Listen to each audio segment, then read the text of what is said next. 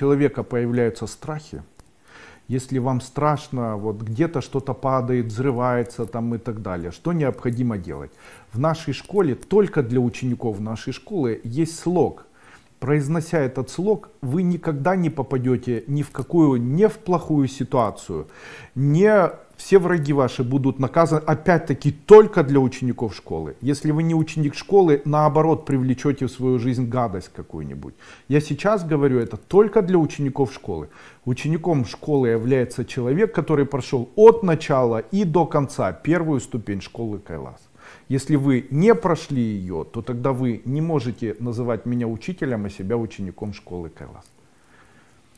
Так вот, для учеников школы Калас, для нас есть специальный код. Он звучит так. Аспис на вдохе и аспис на выдохе.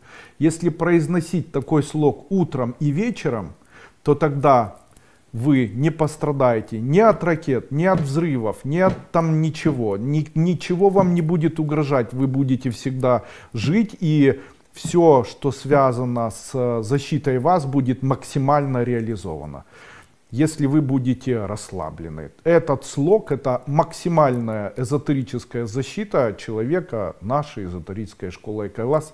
И как показала практика вот этих событий, которые у нас длятся уже много лет, то это все очень эффективно. Очень.